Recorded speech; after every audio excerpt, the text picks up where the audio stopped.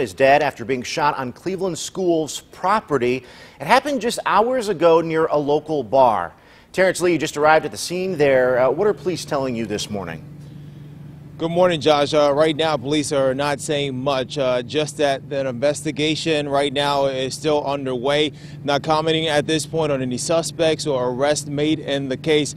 Here's what we know so far, though. One man is dead. The shooting happened around 2 o'clock, uh, just after 2 o'clock uh, this morning here on Ridge Road, outside of a bar, Castle on the Ridge here.